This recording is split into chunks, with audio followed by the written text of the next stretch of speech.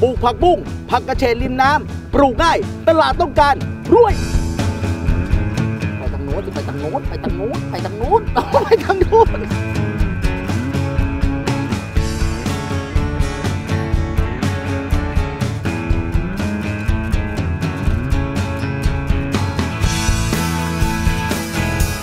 ดิฉันดวงเดือนทองยวนค่ะ เจ้าของแพรผักบุ้งผักกระเฉดริมแม่น้ำอยู่อำเภอสาพานจังหวัดนครปฐมค่ะ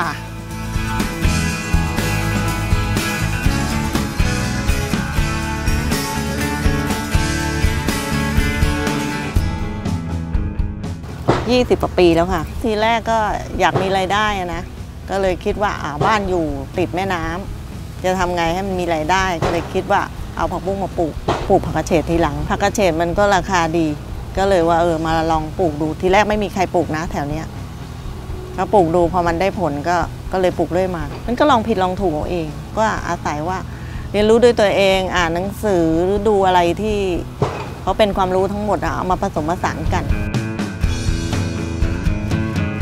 อุปสรรคเยอะ มันก็แก้ไปทีละอย่าง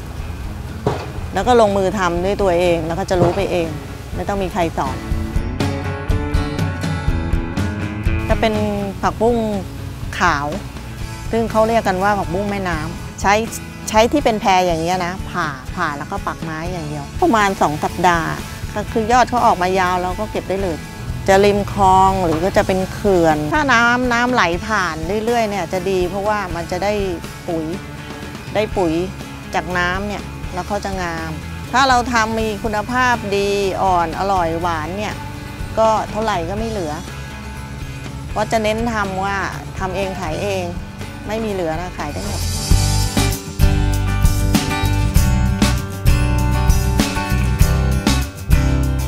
แรกๆ เคยใช้สารเคมี คือสารเคมีเนี่ยพอใช้แล้ว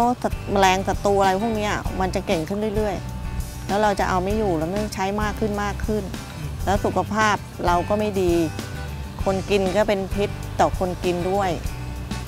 ก็เลยคิดเปลี่ยนว่าอะเราจะทำไงให้ปลอดภัย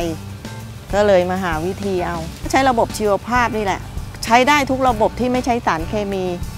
จะเป็นสมุนไพรหมักก็ใช้ได้ ใช้จุลินทรีย์ทางการเกษตรก็ใช้ได้เพียงว่าพวกนี้ถ้าเราใช้เราพยายามสลับกัน ถ้าเราสลับกันเนี่ยมันเหมือนแมลงมันงงมันงงมันก็จะแบบไม่ค่อยมี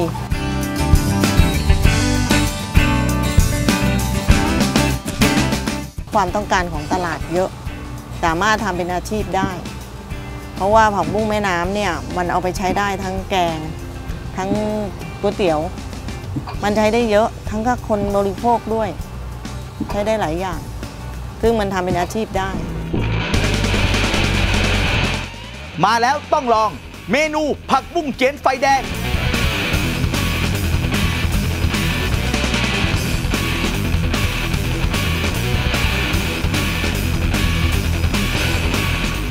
จัด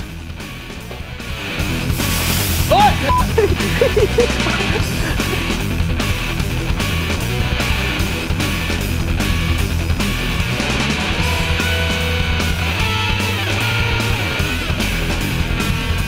มาแล้วต้องชิม ไม่ใช่ผมผมผมต้องชิม ผมผมผม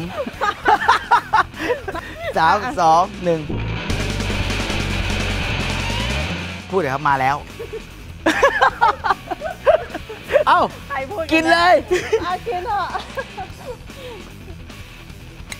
แซ่บเด้อ